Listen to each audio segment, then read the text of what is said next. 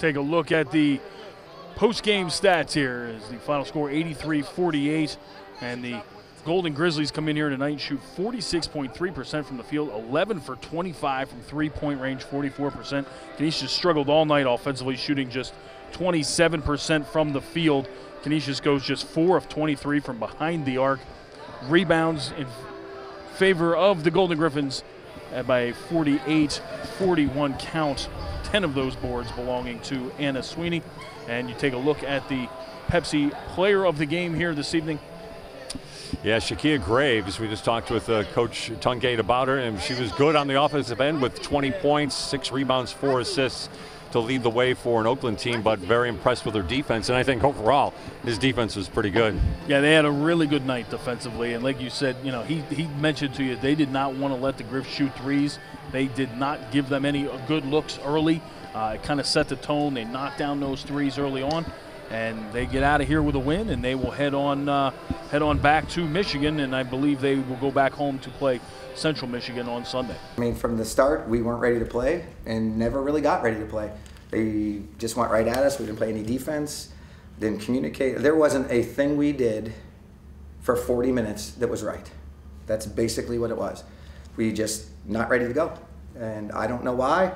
Uh, we chatted a little bit downstairs. They got to figure out why, because you can't play college basketball that way for sure. Was there anything that they put at you that you weren't expecting, or is it just? Nope, not until the very end. They played the one three one, the very very end. But whatever, it was it was academic at that point. So yeah, other than that, we saw everything. Everything they did, we saw. Um, we just not ready to go and soft, soft, soft. Just got dominated.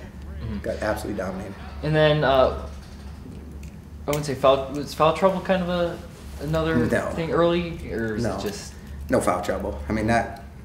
Sorry, I gotta get my glasses to see it. But no, I mean there's no foul trouble. That we- mm-hmm. We're we're playing terrible basketball. We played terrible basketball. We didn't compete. Like it doesn't matter what goes on. You have to compete. Mm-hmm. Like we start out, she banks in a three to start the game, and then we we don't play defense for the next basically the whole game. I mean, I maybe we had some stretches there in the second or the third quarter where we started to compete a little bit harder, right? We, we got up and tried to tried to play for some small se- sequences, but other than that, we didn't compete for 40 minutes. Just let them do whatever they wanted. Took the ball from us. Looked like a, a high school team playing against a modified team. That's what it looked like. Was there a message that you were trying to send at the end when there was like two minutes left and you make that wholesale Yeah, change? yeah, because for the hundredth time of the night, we're not matched up in transition, and they're getting an open shot. Like we're talking about it, talking about. it. Okay, you know what? Then everybody come and sit down, right? It's the same. It was the same thing. You sat there and watched the group in front do it. Well, then you went in and did it. So we're, yeah, we're gonna come out, come out and sit down. What are you hoping to see going forward to change with the schedule not getting any easier with Oh. UB looming next week? Yeah, schedule's not gonna get any easier at all. Um, I'd like to see us start to compete, right? Like, I don't know, I don't understand why. I don't know if, if we're afraid. I don't, I don't know what it is, but we're we're not competing. Like, we're just not competing. We start games trying to see, oh, how's this gonna go? Hmm, That's not sports. You got to go out and get it. You got to go out and get it.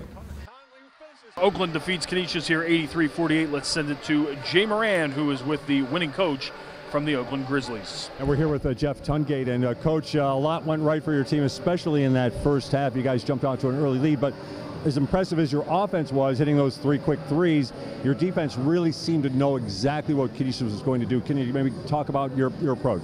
Well, you know, we wanted to take away their three-point shooting. That was a point of emphasis, and, and they could put the ball on the floor. I thought, you know, with our athleticism, we could cause them some problems around the basket. We really wanted to close out long, make them put the ball on the floor. But, you know, to be honest with you, I mean, they missed some, just missed some shots early. We made some, they missed some, and we were able to jump out to a big lead. But, you know, give them credit. They never quit. They came back second half and, and ran some great stuff and really hurt us on their slips and things to the basket. So, you know, we got a lot to work on. You got to give them a lot of credit for what they did in the second half. And, you know, they're, they're, they're going to be a good team. Terry does a great job. And, you know, I was, I was pleased in the first half with, with how we played, but, you know, we, we didn't answer the bell in the second half, and they did.